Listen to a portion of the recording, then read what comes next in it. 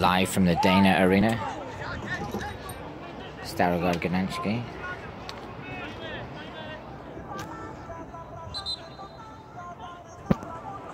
Match ticket. KP Starogard. Unia, I don't know, Selech. I probably can't pronounce that right, but um, home match here in the Deyna Arena. 1 0, 1 0. 18th minute free kick.